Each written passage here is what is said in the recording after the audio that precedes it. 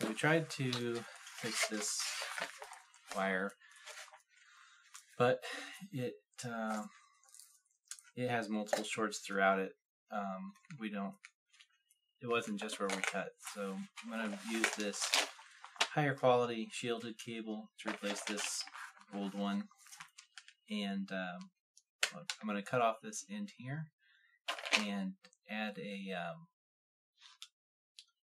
what do they call it? Solderless connection, JST connector, for to connect to the uh, Brook Universal Fight board.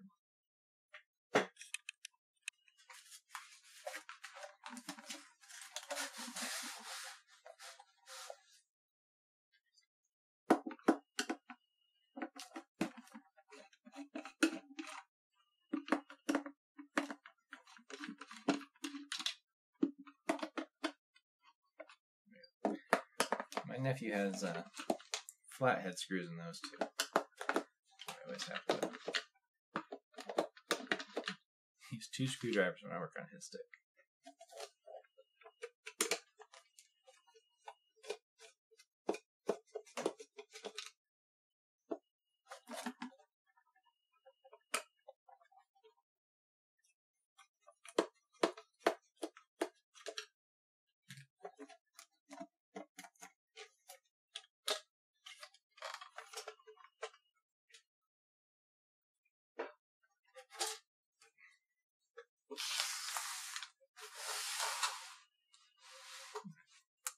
There we are on the inside of his stick, and I could probably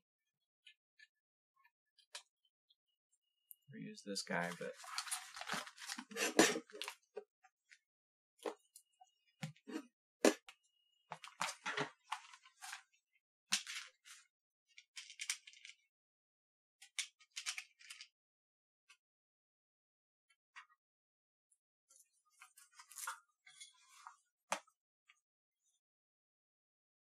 There we go. That's the correct size.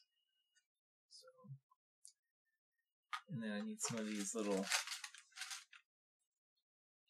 these little pins, and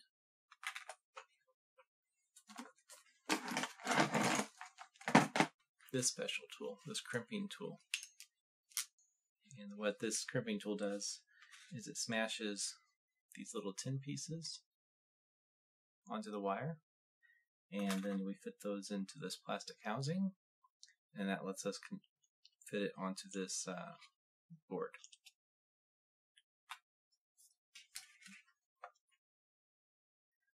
This is the end we don't need.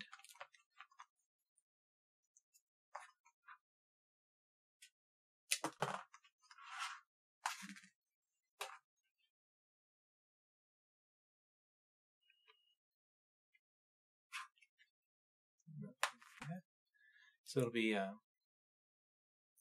it'll be red, white, green, black is how it's going to go in.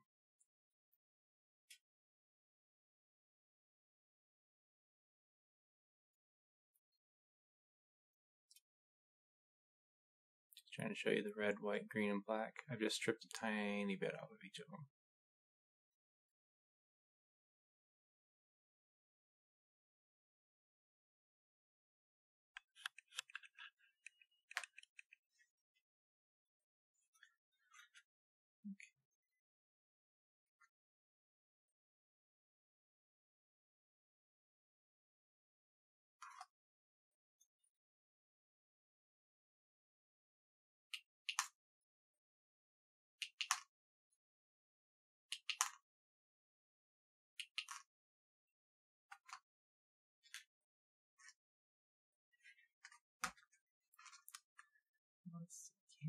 Get this on?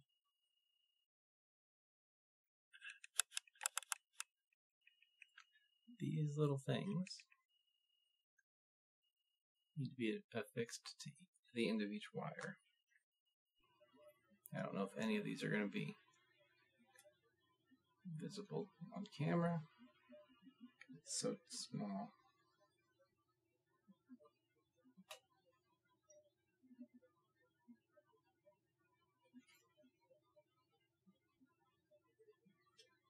Let's try.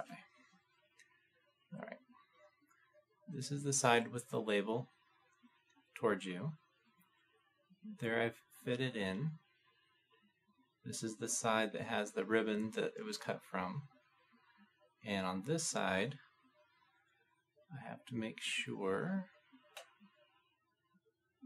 that I'm not crushing the connector, the head of it. I want to make sure that that's not being hit.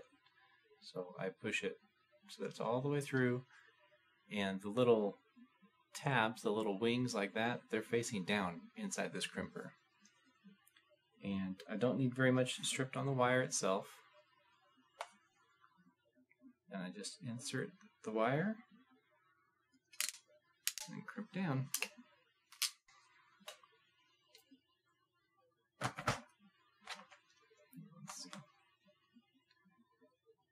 Let's see, can you see how those little tabs wrap around the plastic of the housing uh, of the wire? And then you break these little tabs off.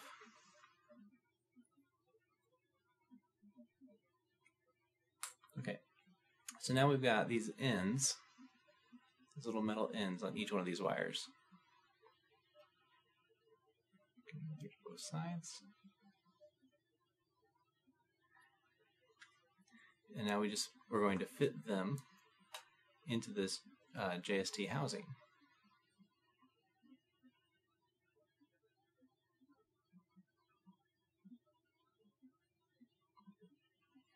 The way these slide in is the side of the housing that has the holes on it. That's where these locking pieces go into. Let's see. The other thing we need to look at is on the board. Let's see. We've got the ground, so this will be the black one. And then over here is the volt, the V, that's the red one. So red, white, green, black.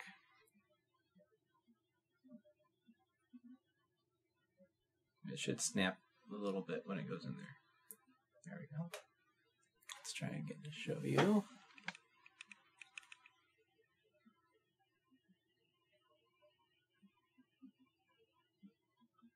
there it is, red, white, green, black in the JST connector. And now, on the board, I just have to make sure that the red one's in the right spot. There it is on board. Okay, what if got these all in perfect and we forgot a step? Wanted to put something on the cable before we put this on, um, either heat shrink tubing or something similar. Well, these little tabs, you can depress those and they will slide out. These wires will slide out, and then you can uh, prop pry them back up and push them back in. Paper clip works great for this. Let's take a paper clip, smash these tabs in.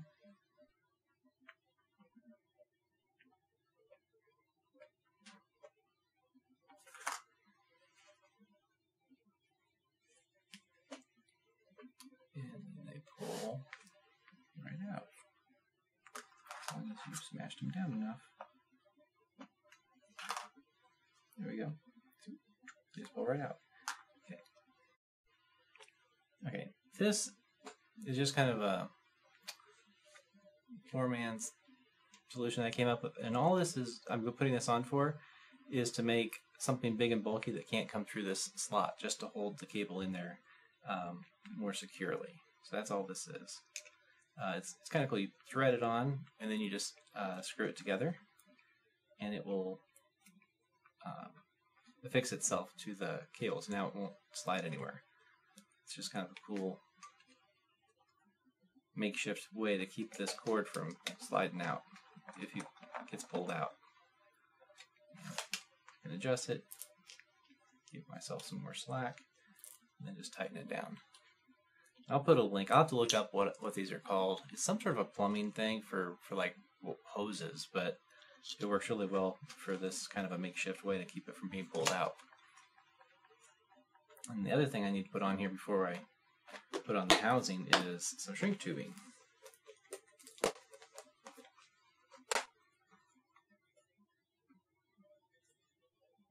Yeah, that'll work right. Good. All right, before I put these back into the housing, those tabs that I smashed down with a paper clip, I have to pop them back up so that they lock into place uh, when I slide them into the housing. So I'm just using an X-Acto knife I'm just going to go under those little tabs and, and pop them back up just just a little bit.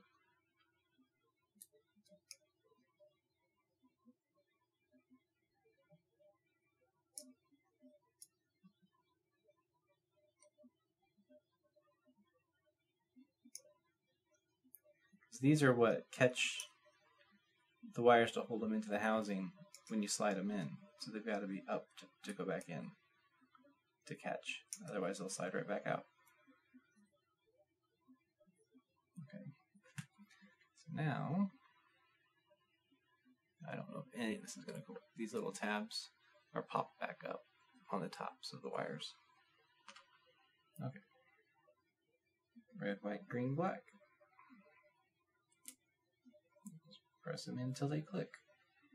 Now I'm back to having, um, now where I've got the shrink tubing on here. So that'll be super easy to just slide up and shrink. All right, now we're going to shrink this tubing.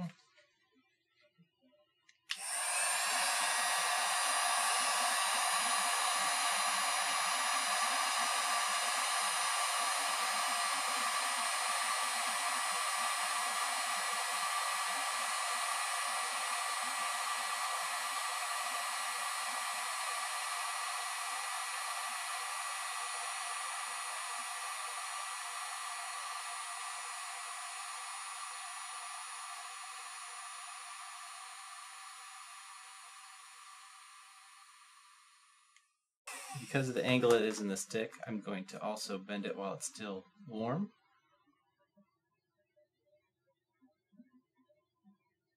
That way it forms just a little angle, like a little right angle, as it cools. And it's just going to help with the uh, cable management a bit.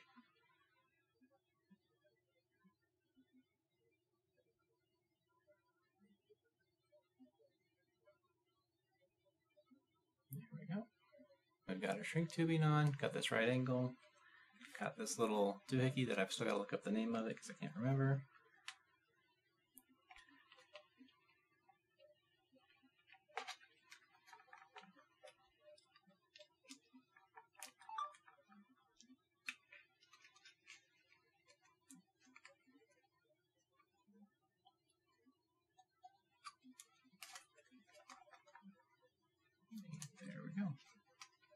Again, all this is is to keep it from being pulled out.